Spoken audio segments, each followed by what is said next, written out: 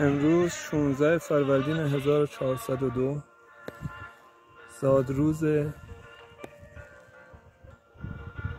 آرام حبیبی با کاشت 28 اصل نهال یاد و خاطره او را گرامی می‌داریم. سنندج.